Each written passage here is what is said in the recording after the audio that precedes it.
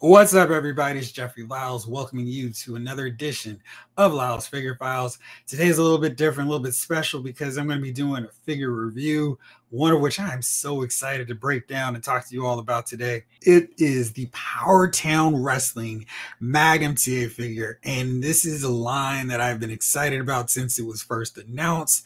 And I'm so excited about the different possibilities of getting figures that Mattel just can't because of licensing and expand our wrestling collection to a further degree. Now, we actually had a Magnum TA figure from Mattel, it was part of the Lost Legends line, and it was great. I'm not going to hate on it all of a sudden, but I was really excited to see what PowerTown was going to do for so many reasons, including this thing you see right here, the US USA, as Nikita Koloff will call it, the US title.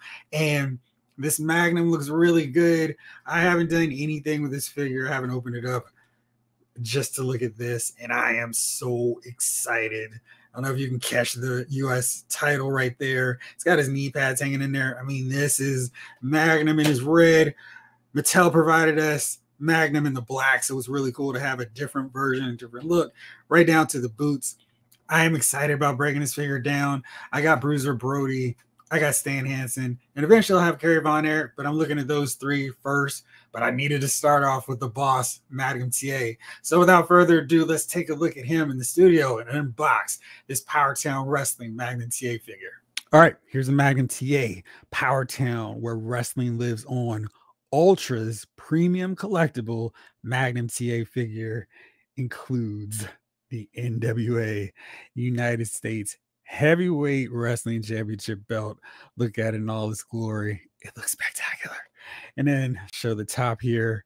PowerTown, where wrestling lives on. Magnum TA. Let's look to the different sides. Here's one glimpse of Magnum. You can see he's number three in the series. The other side is pretty much the same. Features Magnum, shows him off. Nice bookcase if you want to put them on your shelf. Probably want to do it this side just so you can have the number showing series number one, number three. Now let's take a look at the back. So Magnum, of course, gets a prominent spot on the back, but then we can also see the cross cell with the other characters, the other figures, the wrestling luminaries in this wave. We got Kerry Von Erich, Lou Verne Gagne, Bruiser Brody, and Stan Lariat Hansen. There's a little magnet in place keeping this locked in, so you can do that. But let's take a look at the inside. See Magnum with all of his accessories, knee pads, swappable hands, leather jacket, and the US title. There you go. That looks great. So these are not pictures. And looking through Google, I know which ones they use. These this is actual drawings, and they look amazing. I really like the way these turned out. They're some of Magnum's iconic stances, shots, moments where you know just looking through Google you can kind of see them.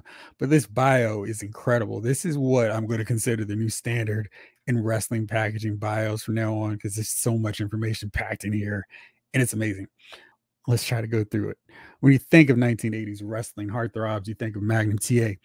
Best known for his time in championship wrestling in Florida, Mid South Wrestling, and Jim Crockett Promotions, Magnum TA was one of the hottest wrestlers of the early to mid 80s. Capturing his first heavyweight championship in 1984 by defeating Mr. Wrestling 2, the North American title in Mid South, Magnum quickly became an overnight main event draw. Standing six foot one, 245 pounds, Magnum TA was best known for his belly to belly suplex, with a wrestling style that evolved into a classic brawler with an intensity second to none. So I like that. We don't have stats on these, but we see how big he is and how tall he is. Not all wrestlers have career defining moments, but Magnum TA may best be remembered for two. In 1985, Magnum defeated Tully Blanchard to regain the NWA United States Heavyweight Championship in a brutal I Quit Steel Cage match. Then in 1986, following the stripping of his title, Magnum TA faced off against Nikita Koloff, the Russian Nightmare, in a best of seven series. Split three wins apiece, the tie breaking match was decided with help from Ivan and Krusher Khrushchev as Koloff won the series. One step away from the world championship, Magnum's in rear career was cut tragically short following an automobile accident in October 1986. Against all odds, Magnum recovered and found his fit into wrestling again, working for Turner Broadcasting until 1991. Following his career in wrestling, Magnum forged a new path. Although Magnum's in ring career only spanned a short seven year period, his trajectory in professional wrestling leaves many asking the question what if? Magnum TA's legacy may best be reflected in the persona of wrestlers of today when you see rebellious face incite heel heat. All right, so that's the bio. That's everything. Let's take a look at Magnum inside. Spoiler warning, I did kind of cut the tape just to make it easier.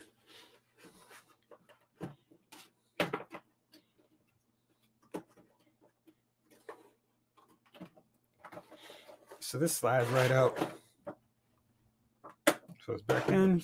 So here's Magnum parts will fly out because of the way they're situated in here. But I don't know if you can quite make out the knee pads actually say left and right. It's another close-up look at the US title.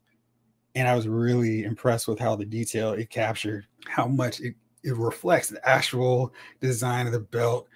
It's got the blue tint on those side panels. I don't think you can make that out, but the lettering is crisp and clean. You can see it actually says NWA. That's really cool.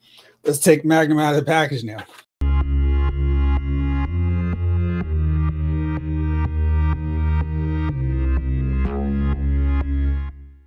All right, so here's Magnum, the boss, unopened. Here's all the accessories. Let's throw out the hands here. Then pads. I'll put them on in a second. But let's take a look at Magnum himself. Really solid head sculpt. You can see that detail in his hair. And I think that really looks good. It's that dirty blonde look all through the mustache. It's a lot thicker. I really like how that turned out too. And the leather jacket's really nice got his hair going with a nice range, nice length mullet. That's good. I mean, you can't have an 80 superstar without the mullet. And then the jacket, I'm hoping you can see, has detailing as well, where it's not just a flat black. It's got detail as well. So it's really got that leather look to it. There you go. I think you can see it there now. But yeah, this is a really nice leather jacket. It's just same as every other jacket you see with wrestling figures, zero movement. So it's just a plastic piece. But these boots are really nice. They have a star detail. Magnum would tradition, traditionally wear more of an eagle up top. See the eagle down here at the bottom of the boots. But this is nice because this is what he wore back when he was fighting Nikita Koloff in their best of seven series. So this is really accurate to a, an attire Magnum wore. All right, let's try to get this jacket off. This is the same kind of materials you've seen with other wrestling figures, so it's not going to be fun or easy to take off. Let's try to make it a little easier by removing the hands. They popped off really nice and easy. So let's see if that helped at all whatsoever.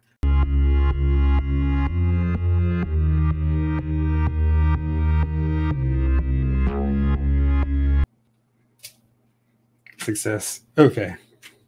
That's that's a pain. And I really wish that they did these hard plastic pieces. They made that material a lot easier to fiddle with because you got your sleeves that can't move. It's just really hard to take the the arms out of the jacket sleeves. So pain there. Let's put the hands back on them.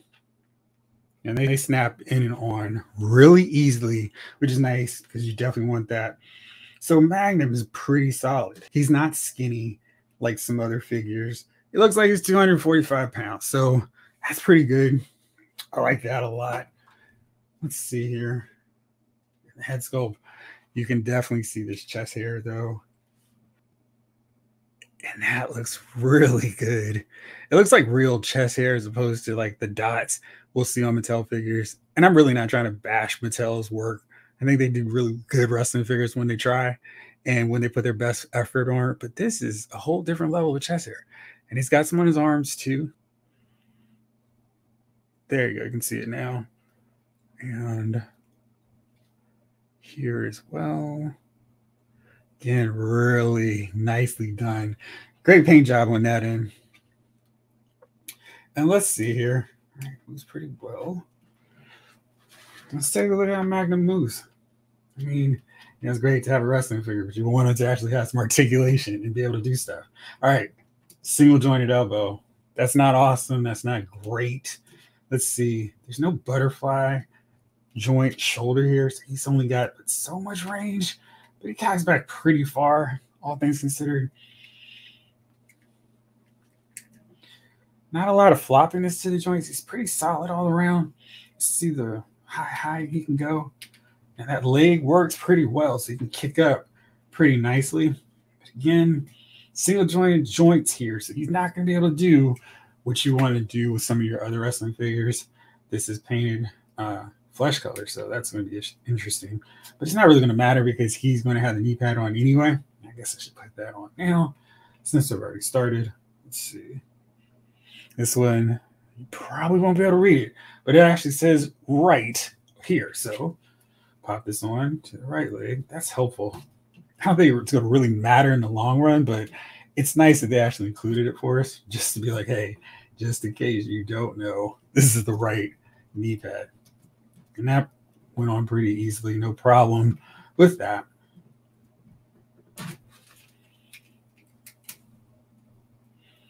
Magnum will wear these like right about here. You know, with the trim right here. This is how his how he wore the accent on his knee tape, so you can put it just like that. That's really nice accuracy to how Magnum wears tights. Let's see if I can show you guys again.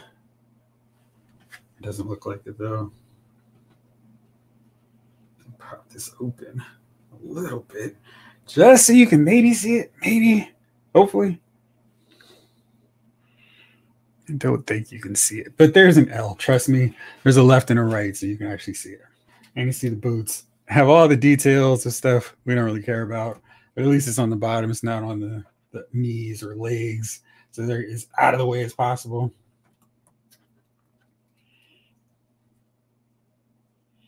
And the knee pads are much better than what we see with Mattel's figures. They're not going to get all in the way. They're not going to impact or impair the articulation at all. You see how easily it, it come, came down without affecting anything. That's really nice. I think they're going to stay in place just fine. There's a foot tilt, ankle tilt there, and I can go up about that far. It's a good range for foot. Here's more of that boot detail, so you can check that out. I like it. I think the boots are cool. Not the ones I thought they were going to go with, but that's fine. All right. Magnum has a bit of a tan, and it's really hard to show it off here. I wish you could see it, but they did a really nice job giving him a tan so it didn't look pale. And I think this figure turned out really well in just terms of the likeness to Magnum. Okay, so let's let's see how Magnum, the PowerTown wrestling figure, let's compare to some other wrestling figures. And by other wrestling figures, I mean Mattel. Now, Mattel released their own Magnum T as part of the Lost Legends line. He was originally slated for Legend Series 7, but it got delayed, and it was this big thing of, oh no, we're never going to get a cool Magnum TA figure to go along with some of these other NWA legends. They released them, and it was a really cool, big deal. Magnum 6'1, and whew, it's such a difference between these two figures. It's it's wild. Now, this is the boot mold that I was talking about, the boot design. As was a little bit more common than what Magnum typically wore. I get why PowerTown chose to do a different one. Again, there's nothing wrong with this one. It's accurate to what Magnum wore, but I think this is more of what I would have wanted to see from his design.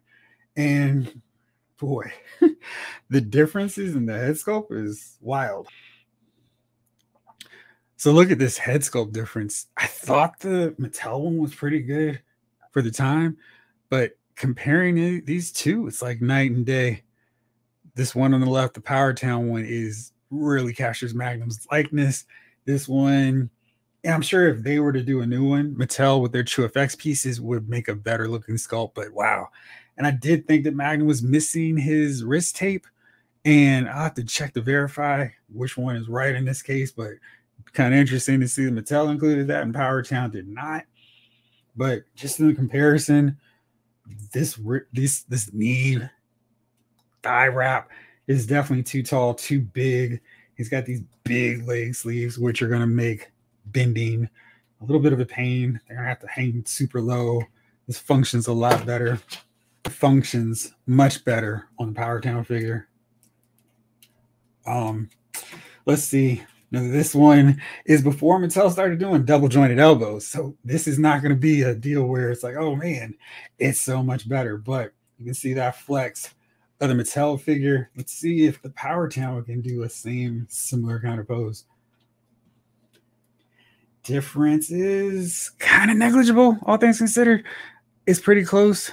They're both pretty similar in terms of that.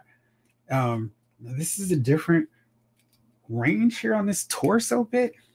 Didn't have a great back and forth or side to side, as you can see, compared to the Mattel one, which has eh, this much range, no side tilt whatsoever. I don't know. I think in terms of articulation, it's kind of a toss up, but this Magnum can definitely do a leapfrog. Let's see what the Mattel one can do. Eh, same deal. No issues there either. Let's see. What can he do? Can he pull off a belly to belly? I think that's the most important thing I need to know with this Magnum TA figure. So let's put him into the imaginary ring with him in. And he can kind of, yeah, he can pull that off. So that's good enough for me. No issues there. Can you do a high knee? Uh, yeah, you can do that. Uh, let's see. What else can Magnum do? I mean, Magnum was pulling out some of these fake guys, and it's like a clothesline, a punch, and then belly to belly. It's one of my favorite parts about his matches. He was taking out jobbers really quickly. He had no patience, no time for them. But see how Magnum looks with some of his other counterparts, his other NWA counterparts from Mattel. We need to start off, baby, with the dream, the American dream, Dusty Rhodes. Now, this is kind of interesting because torso wise, the Mattel Dusty is almost the same size as the Magnum. And I don't know if that's a bad thing. Dusty wasn't in shape, but Magnum was. Let's see how this looks more from a side to side view. So PowerTown's Magnum is just a little bit taller than Dusty. I think Dusty was taller. Dusty should be just a little bit taller. He's six foot two, Magnum six six foot one that's not a huge deal, not a huge difference. But if you're a real stickler for height, there you go. So we got America's team here.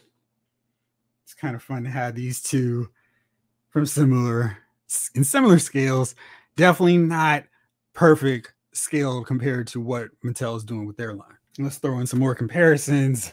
We don't have Ole, Ole Anderson, so I'm not gonna put him in, but we're gonna put in his brother Arn. Let's put him in you know, you see, I guess the problem with PowerTown versus the Mattel figures, he's gonna look like he fits in height wise, but Magnum clearly, clearly has a lot more girth to him than his Mattel counterpart. And here is the Ultimates Ric Flair. Again, kind of fits in okay height wise. They should be the same height, but Magnum is definitely looking taller, thicker. Definitely looks like he's part of a different line. So for those of you who want to really match up your Mattel and your elite figures with these PowerTown figures, you might be a little bit disappointed on that. He's really broad, maybe a better scale overall for a wrestling figure he's solid and thick. Whereas, you know, Arn Anderson wasn't this thin and slender in real life. Ric Flair, ditto. But yeah, I wish he were a little bit thinner just to fit in better with existing figure companies. But height wise, Magnum and Flair, they're both six one. They match up pretty well. Arn looks a lot smaller. Guess he didn't have the hair, but yeah. And then I saved him for last. If you got Magnum TA, you 100% absolutely have to have his arch rival, Tully Blanchard. And the scale isn't so far off here. Maybe if we get a younger version of Tully with his longer, fuller hair, they'll match up even better. But I think that's too far off with these two.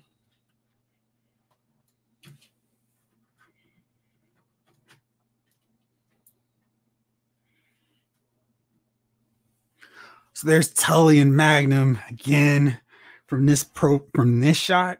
They're not going to look very compatible just because Magnum is like a man size and Tully looks a little leaner, probably too lean. I think if I were to go, hey, what's the better body type regardless of articulation?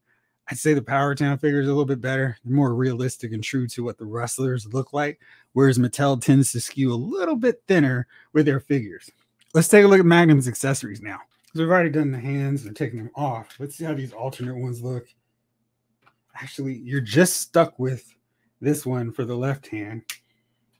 which I thought was interesting because you probably want an alternate one too, but these alternate hands are just for the right hand. So you got the hands up thumb or hands up index finger, traditional magnum pose. You've seen it, it's even in the package. So you can do that, no problem. That looks pretty good. Then you've got, because you need to punch out Ric Flair and the Four Horsemen, any chance you get, Magnum's got Magnum has a right hand fist, so he can punch away. It's got some back and forth articulation on that end. So that's pretty good, pretty nice. But these parts both switch out. because I was curious, I was like, hey, let's see what that elite vest would look like on Magnum.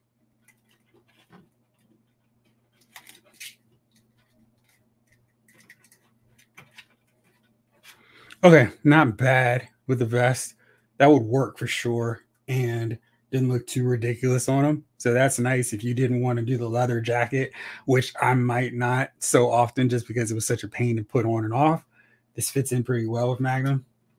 I think that looks good. And it fits in pretty well. Now, let's go for the coup de grace. In terms of Magnum accessories, that means the one and only United States Heavyweight Championship. Here, this is this belt is really well done. So well done and so accurate to the actual title. It's got four white stripes, four red stripes, just like the title. Let's see if I can pull up more detail. NWA United States Heavyweight Championship. Ah, I still can't see the blue. Sorry about that. I'll probably have to do this better in pictures. But yeah, that's a really nice looking title. Let's whip this bad boy around Magnum's waist. It's got tabs like this on here on the back. There you go. You can see that. It looks like I'm going to have to take this all the way to the absolute last two to get a snug fit on Magnum. Maybe I can just do these. These. No, I'm going to need to go all the way because even with the second to the left one, I still need that all the way to get a better fit. So maybe you got some bigger guys, maybe you want to put this around Dusty's waist that would work. But yeah, you need all of it to to actually fit. Which just means it's gonna look a little weird from the back. You're gonna have this much hanging out, but I don't care. I've got the USA title. As Mag as Magnum's rival, Nikita would say, this is really cool to have this belt around Magnum TA's waist. That is so cool. And it's a face off of titles with Ric Flair, the Nature Boy, with his World Heavyweight Championship in Magnum, with his, and it's kind of interesting looking at the difference of these two belts. Now, Power Channel was able to get the full licensing for the NWA US Heavyweight title, and it shows you can see the extra detail they put into this with the blue, with the dark red. It's colored appropriately too, but yeah, there's a lot of great detail. Magnum's ankles are a little bit loose. He is going to get his lean on a little bit more than I'd like. That's something that hopefully is not an issue with all of them. He seems to lock it in pretty well when he does, but you have to make sure you get that sweet spot with him. And this is Ultimate Ric Flair, so he's got a little bit better articulation. So he's going to be able to pull off moves like a figure four. Magnum's not going to be able to do that. He's just going to sit around basically. I don't even think he has the ability to do that kind of stuff. But you know, I got a wrestling figure. Let's put him in a ring and see what happens. Maybe Power Challenge is going to give us the NWA ring proper, but this is the best I could do under the circumstances. The WCW World Championship ring. And see how Magnum looks in scaled in here. He looks pretty solid on a ring. Fits doesn't look like a giant towering over the ropes, which is nice. You'd like to see that, of course. Let's take the title off of him. Since he's gonna need to go in here and wrestle and do his thing. And let's bring in Tully. Let's have them face off again. The latest in their heated, storied rivalry. He can lock up pretty well doing that. Hit a regular basic pose like that. Um, the ropes. Hit a clothesline. Awesome. Let's see. Can hit the standing 10 count from the corner. It's interesting. I'm not quite sure if you can see this, but right in this corner section here of his chest piece, it's already starting to get a little white. I don't think I've done much, but apparently my posing, it's warped it just a little bit. Something to keep in mind with your figures. if you like to pose and do all kinds of cool wrestling poses with your figures. So he can hit the corner punch. One, two, three, four, five, six, seven, eight, nine, ten. No problem. Just in here. A little backdrop action. That's great too. And it's time for the one and only belly to belly. And he can do basically the movement that you want to see here with this. So he can wrap Tully up, almost do a full grab, because he doesn't have another gripping hand, which would really help that. But he can definitely hold Tully and swing him around and do the belly to belly. One, two, three. Watch out for Baby Doll or JJ Dillon. Magnum wins the match. Gets to keep his U.S. title. Let's see if I can do one of these deals so you can hold it as such. Yes, you can do that. That's good. So a lot of fun. I wouldn't think that you're going to want to go too hard and throwing Magnum around and doing all that stuff. He's a little bit more gentle than the elite figures from Mattel, the Ultimate Edition figures, but he really does some cool stuff. I'm a big fan. Like what they've done with him. Let's see how he looks with a couple other figures since I got him in the ring right around here. We absolutely have positively have to crush the four horsemen. You got to bring in the Legion of Doom, Hawk, and Animal. These guys are too slight anyway. Mattel needs to hopefully get an update on these guys. But here's Hawk, Animal with Magnum TA. And even though we don't have it at the time, this is a little bit just a year too late for Magnum to take part in it. We got Dusty throwing a little war games action. So there you go. That's pretty cool. Classic Jim Crockett Promotions NWA action. Got Magnum at the Road Warriors. Dusty. I think putting these guys all together, you're not gonna have any issues. They're gonna look really cool next to each other. Adam, of course, is gonna look bigger. He's he's gonna stand a lot thicker than Hawk or Animal from Mattel. But at this rate, I'm kind of happy with what PowerTown did with Magnum TA, so I wouldn't mind getting NWA versions of the Road Warriors, maybe AWA versions, a new version of Dusty Rhodes. Be really curious to see who they exactly have under license because you know we had that Ted DiBiase that was coming, but then it was like, whoop, sorry, no Ted DiBiase for you. Got replaced by Bruiser Brody. I think that was a bad trade-off, but it'd be really interesting to see who else we get. So there he goes, the Magnum TA, PowerTown Wrestling, where Legends lives on. Series one, Wave three Magnum TA figure. Overall, I think he's a really strong figure. I like the size, the stockiness to him. I like the boot design. I love the way they implemented the knee pads. I wish he came with more than one alternate left hand scope. I mean, there's only one, not even an alternate. He's got three with the fist, with the other extended hand and the index finger pointing up. Those are nice accessories. Of course, I love the US title. Put that back in firm display so you can check it out one more time. But while this has really great detail, this leather jacket, way too similar to what we've gotten from Mattel in the past. And it's just a pain to take it on and off. I think it's going to be a real issue over time. But I really love the detail on it, where it's like, hey, it's not just straight black. We got some wear and tear to it. So that looks nice. But I hope PowerTown can fix this solution a little bit more. So in the in the future, we get figures with more jackets, robes, and all that good stuff, they'll fit in and off a lot easier. But pretty happy with this and want to see where else this line goes.